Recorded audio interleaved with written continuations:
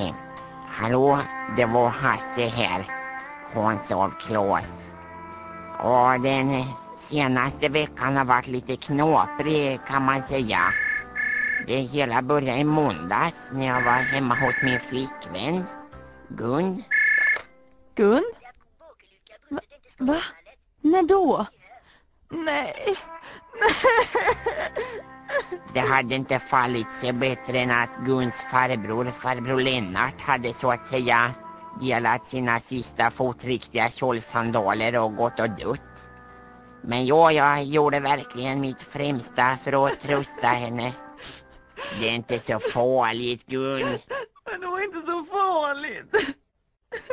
Ja, jag, jag menar att han kanske återuppstår eller något. Chansen finns. Tyvärr så följdes inte bättre än att det vart begravning i alla fall. Blott en dag, ett ögonblick i sensen ska jag följa Herren Vi har samlats för att ta farväl av Lennart. Vi minns alla Lennart eh, som en varm och godhjärtad människa. Och vi minns Lennart i ljuset Jag minns en annan grej med Lennart, om jag får flika in bara. Hasse heter jag förresten. Jo, Lennart han brukar vara tämligen taskig mot just mig. Och han sa till exempel, om jag, om jag får ta ett exempel här, att jag hade IQ som en trummis. Och så minns jag att han... I ärlighetens namn har jag aldrig gillat den där Lennart något speciellt. Och så vill jag slutligen nämna att Lennart hade en affär med en nära vän till dig, Amanda. För er som inte vet, Amanda är Lennarts fru. Ja, tack för mig. Då sjunger vi alla tillsammans psalm 69. Jag är närmare Gud än dig. Jajamensan, den gillar jag.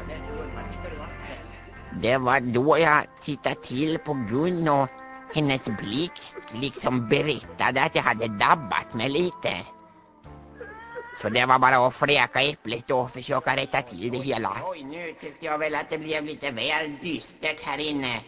Eh, som tur med så har jag tagit med mig min fixsynt här.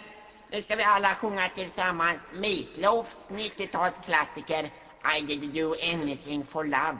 Jag startar upp skiten här. Ja. Sådär, nu rullar det på. Ja. Anything for love. I run to you and that's a fact. Oh yeah. I would do anything for love. Det blev eh, tämligen uppskattat bara. Av jord är du kommen, jord ska du åter vara. Visa lite respekt. Hålla på och smutsa ner Lennart sådär. Herregud, kasta jord för Nu är det nog här. Ta, ta ut den här mannen ur min kyrka. Det var då de drog ut mig. Sen fick vi gravmat. Ja, så behagar sorgen kan man ta en smörgås till till nästan alla. Gun var jättearg och sen åkte vi hem och allt var över. Trodde jag. Ja, då måste vi åka nu Hasse. Vadå åka? Till Lennarts jordfästning. Jordfästning? Det visade sig att de på något vänster hade rostat Lennart och lagt honom i en liten brun kruka som de skulle gräva ner. Jag och Gun var i så att säga god tid till kyrkogården. Ingen annan hade kommit.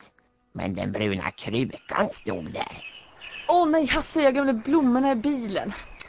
Jag måste bara springa och hämta dem. Står du kvar där? Ja, nej det var inte det att jag var nyfiken och så. Skulle bara kika ner lite grann.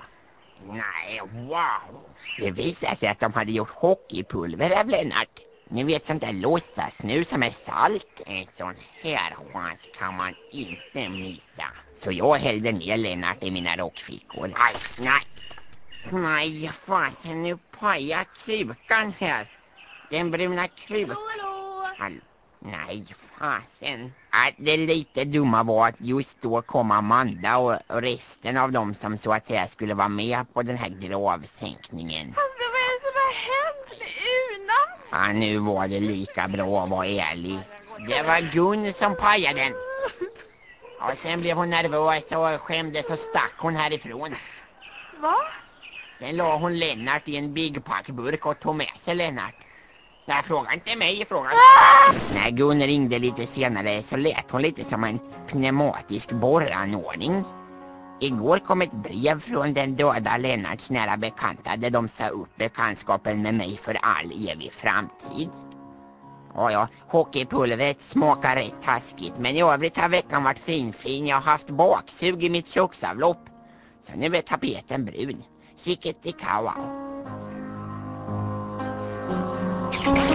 Balraf.